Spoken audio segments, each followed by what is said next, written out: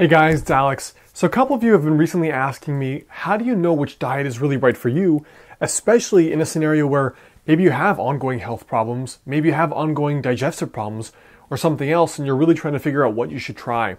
For me, my experience has always been you need to just eat foods and see what works for you and what doesn't. The best way is to try a kind of Spartan or elemental diet. But today, for example, I'm going to show you a little bit of my own food experiment just eating vegetables for a day, how I felt, how I would assess it, and how to see if it just works for you. So the first thing here is obviously this turned out to be quite expensive, over 60 bucks, which is really I'm only shopping for like 4 or 5 meals. I obviously I created a family-sized amount of food, but fresh veggies are expensive, especially if it's you know if it's organic at the spot like that. Um, but basically, this is what my grocery shopping looked like for the day, which was a ton of vegetables, balsamic, avocado, cauliflower, all this kind of stuff. I mean, basically, you can see me when I'm unpacking it. It's basically like 90% veggies, which is how it's supposed to be for the experiment. I also threw in some beans, some legumes, things like that. I don't know if you would consider that to be a veggie or not, but we'll talk about that a little bit later. Uh, in particular, the first meal here was my breakfast. I wasn't really sure what to eat as far as veggies go. The recipes that I found were mostly like these chickpea pancakes. So that's what I ended up making. These garbanzo beans here. Basically, you take them up, you blend them up with some garlic, with some ginger, with a few other spices like oregano, uh, salt, pepper, fennel. I've also I'm using salt here. It's Himalayan sea salt. Doesn't really matter too much. Or it's Himalayan, the pink salt there. Uh, ground flaxseed. This was a tablespoon here as well. And then after the flaxseed, we take all of that off. So we take it, we blend it all up. Uh, I put it. I just used the NutriBullet. It was kind of hard to get it all together there. Um, and then you kind of layer it into the pan. Now, what I had to do was actually bake it, for actually fry them first, like in a little bit of oil, some butter, or some olive oil. Uh, I guess olive oil in this case, we're going truly veggie and all that, and, or vegan if you wanted to call it that. And then after that, so basically they're cooked in the pan first to harden up. It takes about five to seven minutes each side. And then after they're hardened up, I popped them in the oven for 15 minutes. And then they look like this eventually. So they're kind of these semi soft, semi hard on the outside, kind of crispy pancakes, and they weren't too bad. They were a little bit garlicky for my taste, so I threw on some salsa and a little bit of avocado, and that actually turned out to be a pretty perfect breakfast, pretty delicious, and had a lot of flavor.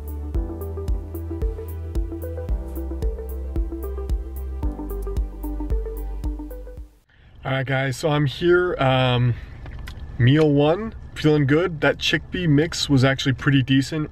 Uh, my biggest fear with just eating the veggies for the day, by the way, chickpea is obviously not really a veggie, it's a legume, so I don't know if that's kind of cheating, but um, I was pretty impressed with it. It's, uh, let's see, it's 11.03 here, and I'm still pretty full. Um, I mean, I had like a, a dirty chai, which is like, I think a chai tea with espresso, and my appetite is pretty good still. Like I'm not, I'm not super hungry, so it's actually been tying me over since about 7.30. That's, that's pretty solid. That's as good as, you know, eating eggs or something for me. Last night, I mean, I had to get up at 6.30 today. I didn't go to bed till like 3. I was in bed by 11.30, couldn't sleep till 3. It was the time change and a bunch of other stuff that's been going on. But, um, but I'm feeling good. Energy's feeling good. It was a good meal. Tasted good. Um, I'm pretty happy with the chickpea stuff. So we'll see what happens. And that's uh, that's the first meal today. Second one is that big ass salad. so we'll see how that one goes. The next meal that I was actually planning for lunch, just because it was super easy to prep, was just one humongous salad. So I did a combination of raw and a combination of cooked veggies here. Too much raw for me tends to cause problems with my digestion. So I did uh, zucchini as well as Swiss chard for some of the cooked veggies. And then I went with some classic, you know, romaine or red leaf lettuce with some bell peppers, with avocados, like you can see here, with this. This is a combination of, I think, romaine and red leaf lettuce. Put in some black beans as well, just for a little bit of extra stuff to munch on there. Layered it up like this in a little pan to get ready for tomorrow. I added the sauteed veggies, again, that's Swiss chard, and some zucchini, which turned out to be pretty solid. Drizzled a little bit of those black beans over, and then my classic salad dressing is just olive oil and balsamic vinegar, a little bit of salt, pepper. All right, so I just got out of the gym. Um, primary concern there with just eating plants is that I wouldn't have enough calories, that I'd be hungry. Usually, if I'm a bit too hungry, I just kind of get lightheaded and get faint, especially really tough workouts like legs.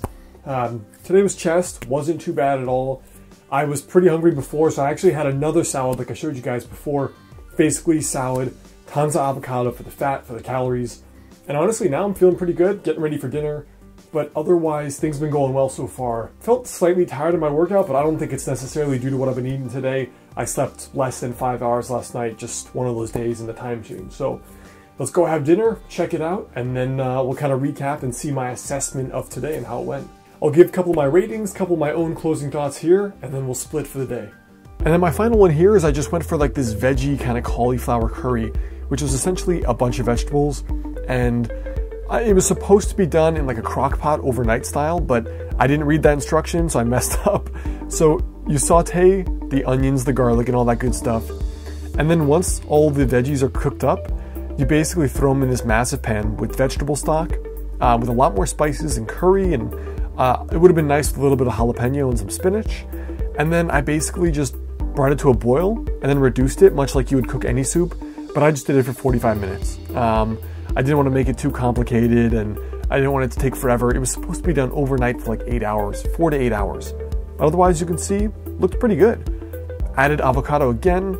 I would have added chips here if I wasn't going no carb. So a couple closing thoughts here. My first impression of doing the veggie experiment is really because everyone is so confused about what to really eat on a daily basis.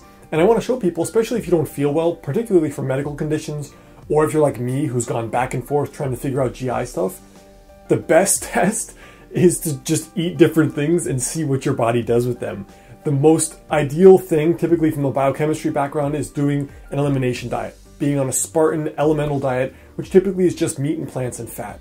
Now, for me, the first thing I noticed here doing just this plant experiment is one, I kind of cheated in a sense because I had legumes. I had, you know, I had chickpeas, I had beans, a little bit on my salad at lunch.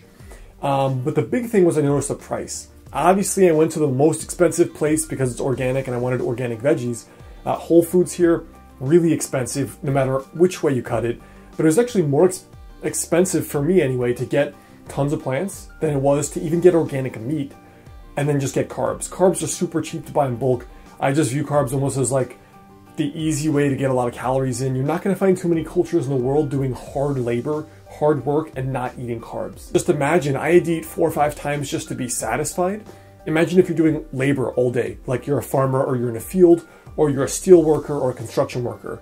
Chances are it's not going to be that ideal for you, just plants.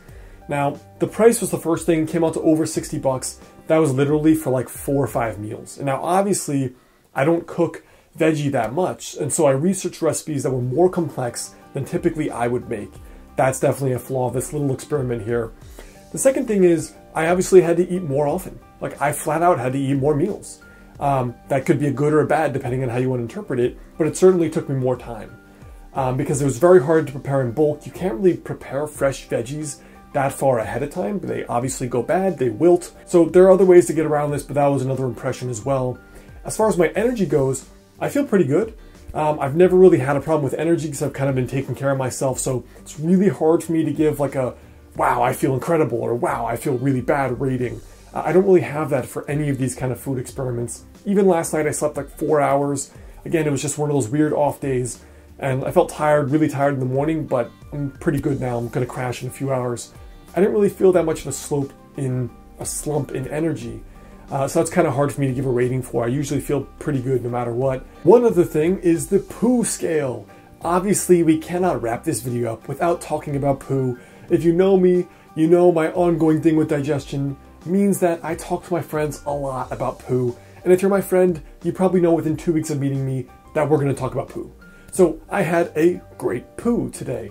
Thank you to the plants. That is my poo score, which gets a thumbs up. Now, one other small thing here that I thought was pretty cool was that I assume because of the water content in the veggies, I found myself not drinking almost any water today, not until after 5 o'clock. And after I had that big salad in the middle of the day, I felt super refreshed. So there was a nice kind of rehydrating feel.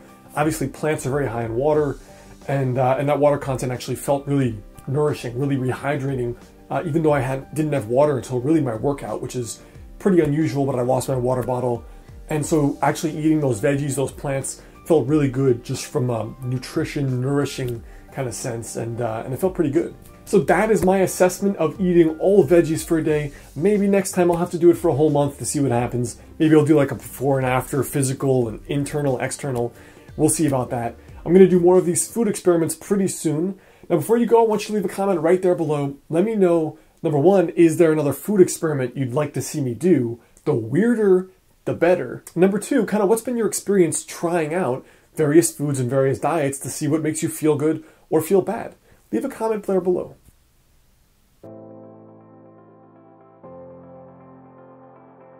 Hey guys, it's Alex. Did you like this video? If so, there are really two ways you can stay in touch with me. The first thing is to go over, click the monk, and subscribe so you get the next video right when it's out. I'm releasing at least three videos per week, but often a lot more. The next thing is come on over and check out my book, Master the Day. It's called Master the Day Eat, Move, and Live Better with the Power of Daily Habits. And it's all about the tiny daily success habits that I learned interviewing people that lost over 100 pounds and kept it off years later in a healthy way. The success habits that not only get your dream body, but also your dream life. And as a special thank you, if you get the book, send me your receipt to alexander at modernhealthmonk.com. I'll send you a one hour bonus video course for free. And one important piece of it is an hour sit down success story with my friend and my student Mike, who lost 30 pounds. So you can go check that out on Amazon right there. The next thing is come on over to my site, modernhealthmonk.com. I've got a free guide for you there five daily habits to help you lose your next 20 to 30 pounds. And otherwise, I look forward to seeing you soon.